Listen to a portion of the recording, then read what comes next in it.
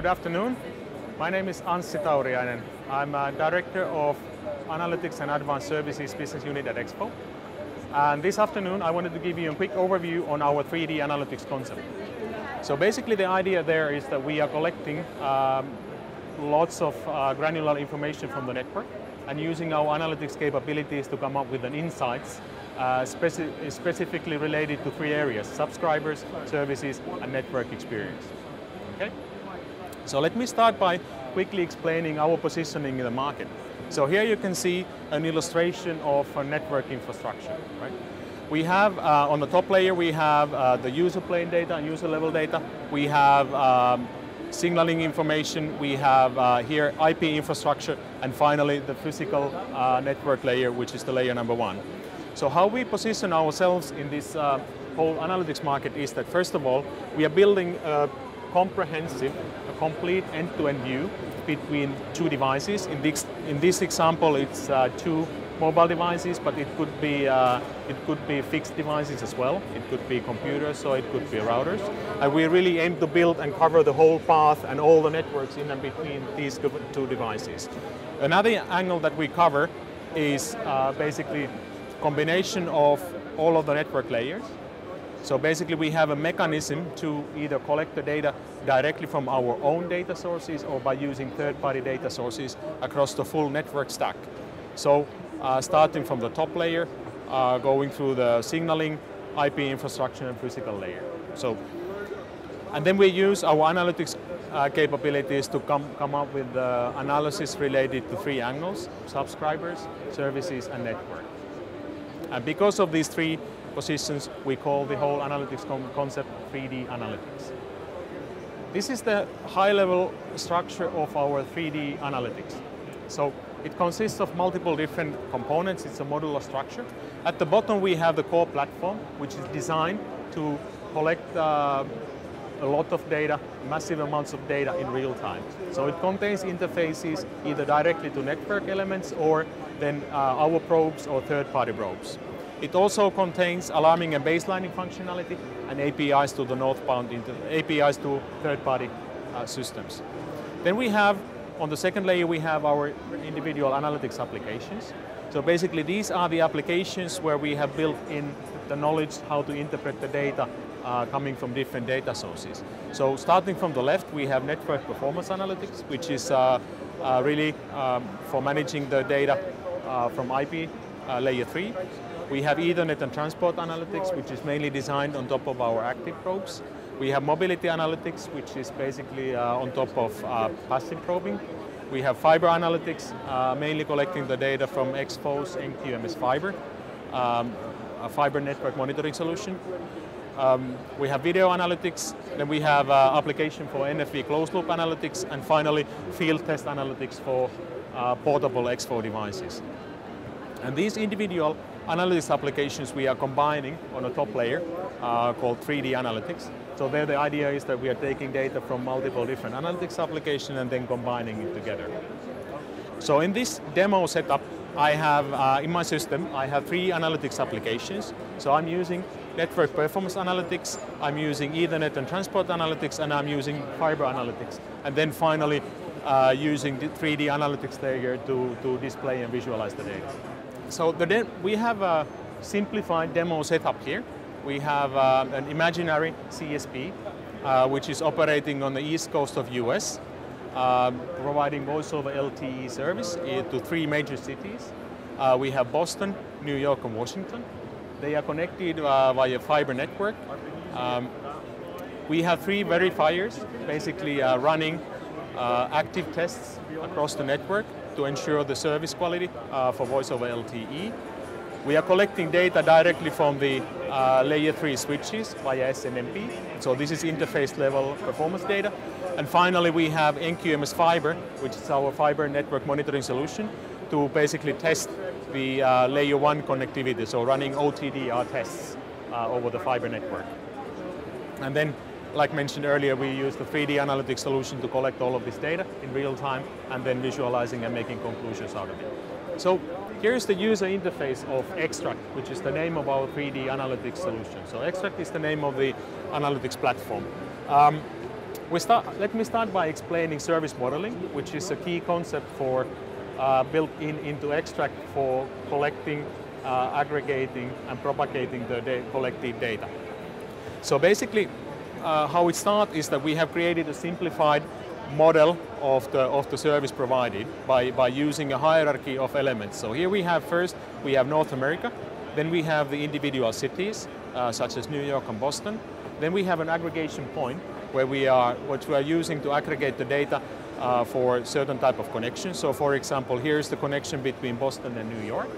And then we have the individual data points. So for example, we are collecting data directly from, uh, from uh, IP layer 3 router via SNMP.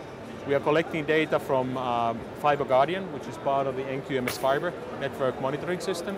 And then we are collecting data from active tests. So this is uh, the verifier, which is located in Boston, running the active uh, MOS score tests over the voice over, over LTE um, service.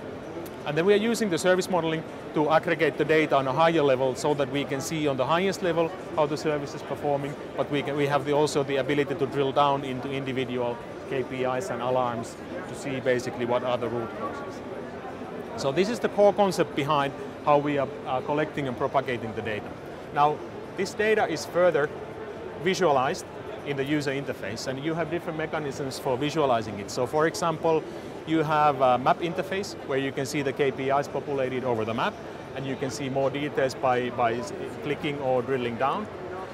Um, we have also examples of the visualization graphs. So on the left-hand side, we have, for example, loss per kilometer uh, KPI, which is, um, which is an uh, optical KPI for fiber networks. In the middle, we have uh, packet loss, which is a KPI connected, collected from the um, from the IP uh, routers.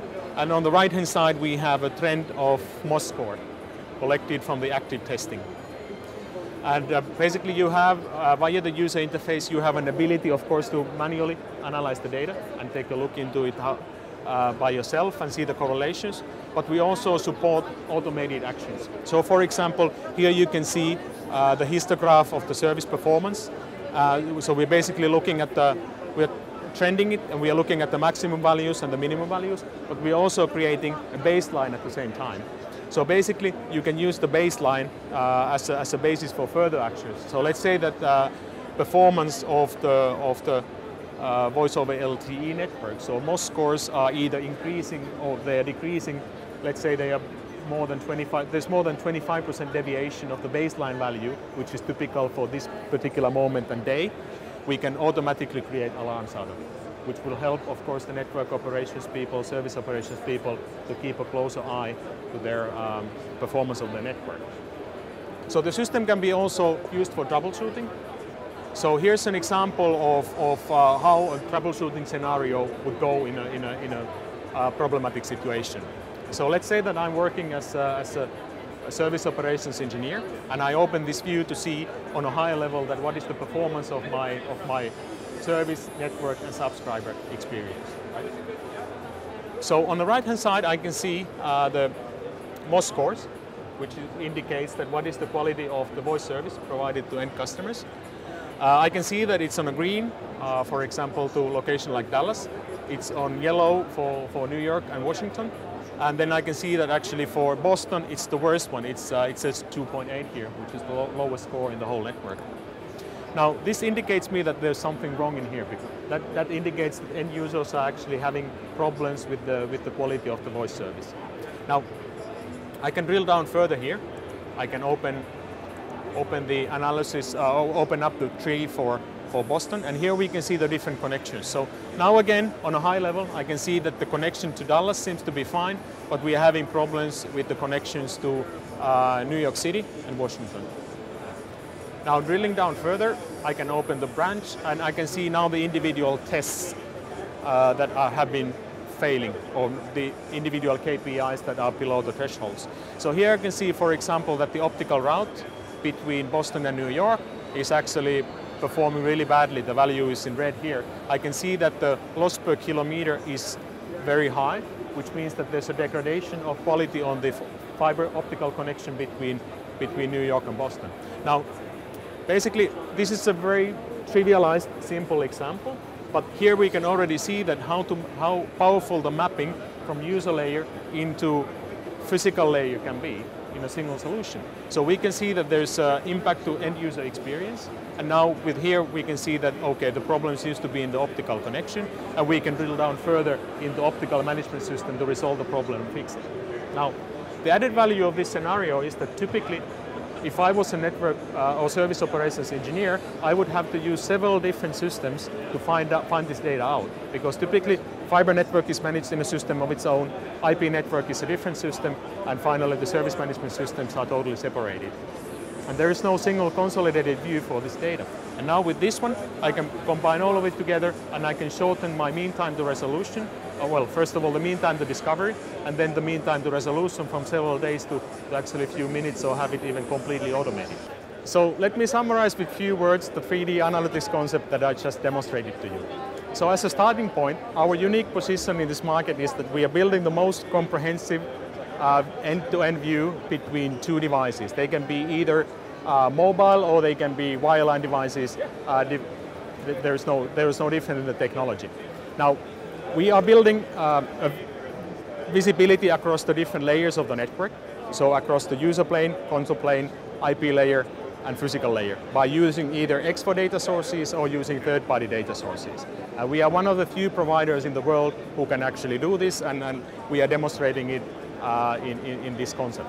Now the third important angle in the whole 3 to 3D analytics is then the um, visibility into three key aspects. So we are constantly keeping an eye on services, on subscribers, and the network.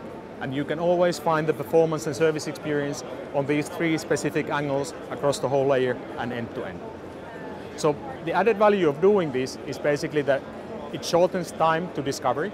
You can discover issues much faster than you would be able to do with the traditional methods. You can fix them much faster. And this, by doing this, it increases uh, basically your customer satisfaction.